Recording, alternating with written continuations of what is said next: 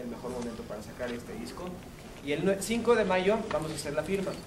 Toda la gente que tenga este disco les vamos a firmar, les vamos a dar papachos besos en Ecatepec, Plaza Las Américas. ¿Qué representa este disco para ustedes en esta carrera que han emprendido juntos? Eh, tener ya un disco de Auditorio Nacional que estuvo repleto, que estuvo lleno de magia y de muchos aplausos de gente. ¿Qué representa en pues, su carrera? Fue una experiencia increíble para todos y yo creo que representa un logro muy importante el poder presentarnos en un auditorio nacional, bueno ya en cuatro, y poder hacer un disco completamente en vivo, tener a todos los fans eufóricos cantando todas las canciones. Eh, la verdad es que estamos muy contentos y agradecidos con el público por todo el apoyo que nos han dado. ¿Tienen como alguna superstición o algo que realizan antes de salir al escenario? Cada uno que me cuente, como, no sé, como veíamos a Pau en el video persinarse, igual alguien piensa en otra cosa, tienen algún amuleto o algo. Yo tengo una, tengo muchas cositas. este, siempre, sí, rezo antes de, antes de salir a cantar y algo que me relaja mucho es como vocalizar antes, brincar y respirar y tengo un clipcito lleno como de, de medallitas y de cositas como de la buena suerte que me pongo en, en mis shorts y, y, me da buena suerte y buena vida ¿Alguien? Eh, sí, yo tengo este anillo que me regaló mi hermano y, o sea, no me lo regaló así como que fuera de buena suerte o algo así, solo me lo dio y bueno, pues que sea mi amuleto de la buena suerte, no me lo quito para nada. Me concentro, agarro mi guitarra y digo, por favor, no vayas a hacer una estupidez. Yo en sí no tengo nada, la verdad, pero... no nada, Todos nos juntamos, eh, músicos, eh, nosotros seis, el staff. todos nos juntamos y hacemos la cuerda de M15. Y es bastante sencilla, pero nos da como ánimos y fuerza a todos antes de salir. ¿Qué pasa por tu mente?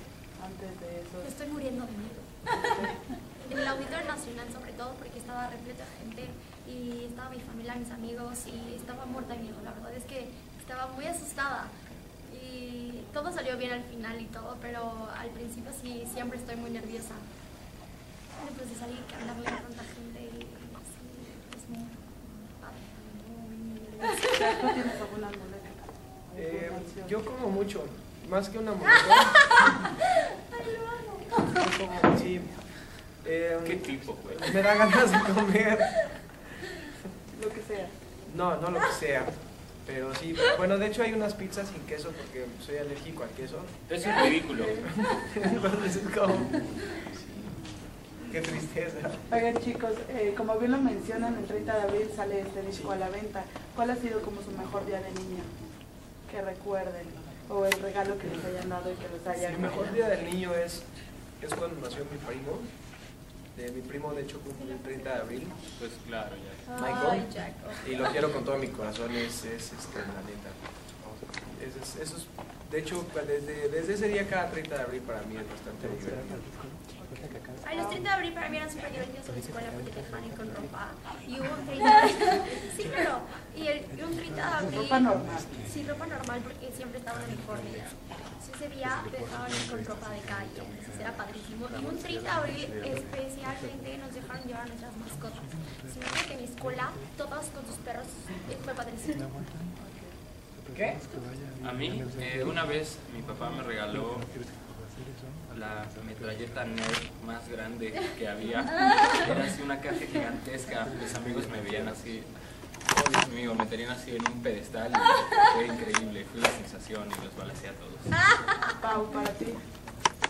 Ahora tengo súper mala memoria, pero yo creo que también en, la escuela eh, fueron los mejores días del niño. Porque siempre ponían de qué juegos, concursos. Eh, hubo una cosa que hicieron que, se llamaba como Sports Day, que era el día de los deportes, y todos concursábamos y ganábamos al final y estuvo muy divertido. Yo era el equipo rojo.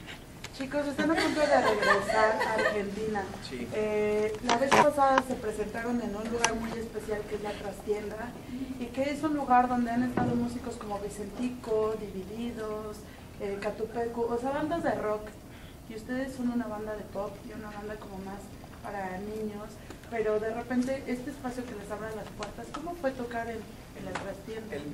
Eh, la vez pasada que en noviembre cuando nosotros fuimos a Argentina y tocamos en la trastienda estuvo increíble porque como tú dices habían, o sea, han tocado muchos rockeros ahí.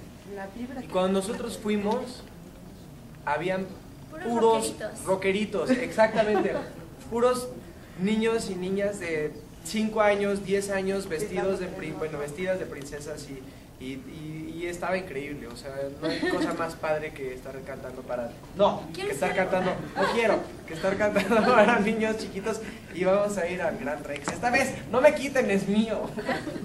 ¿Sabes qué es padrísimo? Estar en estos lugares y hacer que los niños chiquitos se sientan adultos, porque gritan y, y y ponen las manos así y...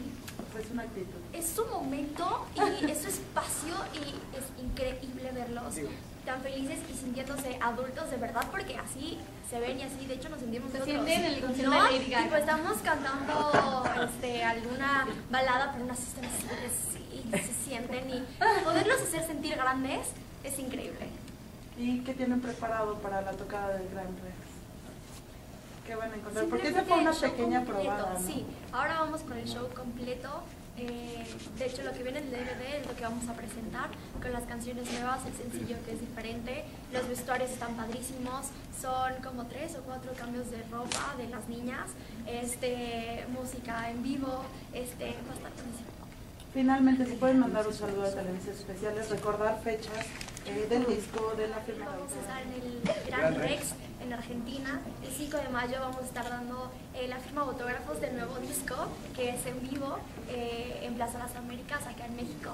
Y nada, síganos. Y el 30 de abril sale el disco, de hecho.